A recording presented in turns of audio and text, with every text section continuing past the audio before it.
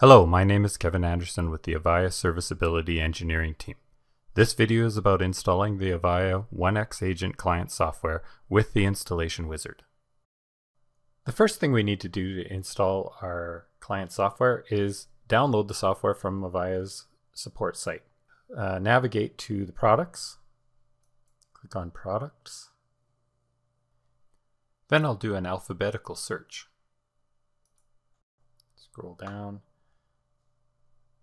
and we're looking for A. And let's scroll down to Avaya one-X agent. And now that we have the one-X agent, uh, we just click on downloads and documents. Just scroll down to the list. And we're looking for the one-X SP1 client agent 2.5. Let's click on that. And from here, we just want to make sure we have the right software. So March 21st, 2012, date released. And uh, this is the zip file that we want to download. So we'll click on that and start the download. And we'll just want to save it. And now that our download's complete, uh, let's open up the folder and take a look at it.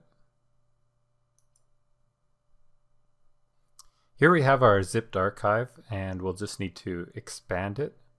And so we'll just click on it. And we'll just extract the application folder.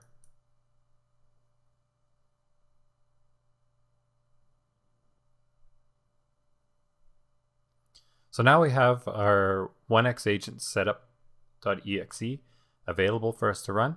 But there's one thing we need to check, and that's if we have the Microsoft.NET framework installed on this machine, and we can quickly do that. So to check for the .NET framework, we need to go to the Settings, Control Panel. From the Control Panel, Add Remove Programs. And since I'm just checking, I'm going to just use the Remove a Program. And now that we have the list of all the applications installed, we'll just scroll down to the Microsoft section.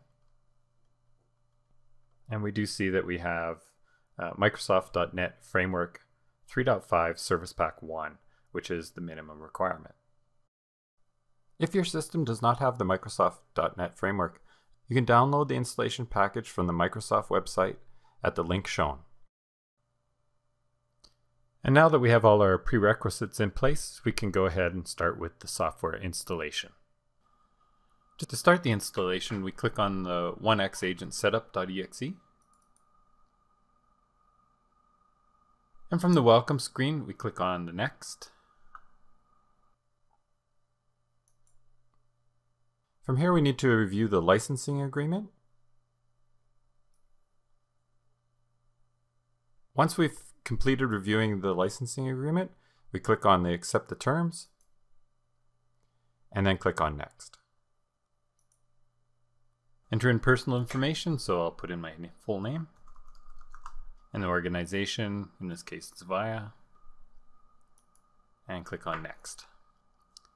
And you can place it in any uh, directory you can specify, and in this case I'm just going to use the default. And uh, we're going to enable centralized storage of the profile. I'll do that so then I can use it on multiple computers. Enter in the central management server IP address and port number. Click on Next.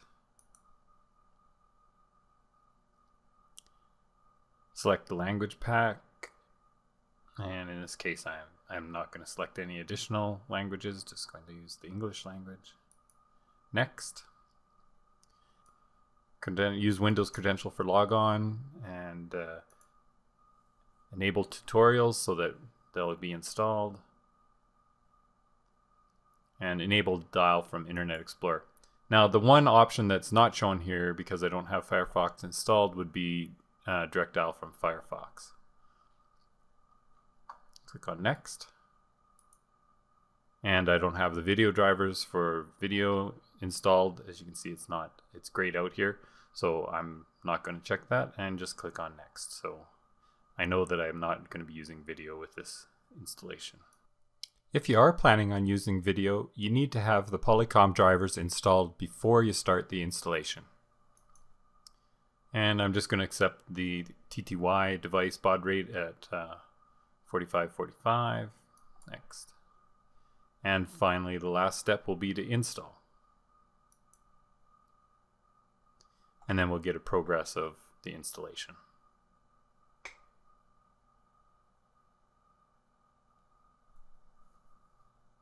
And now uh, it's completed all the installation and we can launch the one-X agent by checking on this and finish our installation.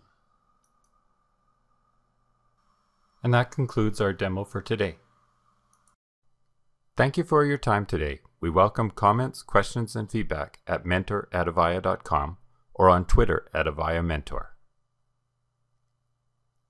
For more details or related information, please visit support.avaya.com. Thank you for choosing Avaya.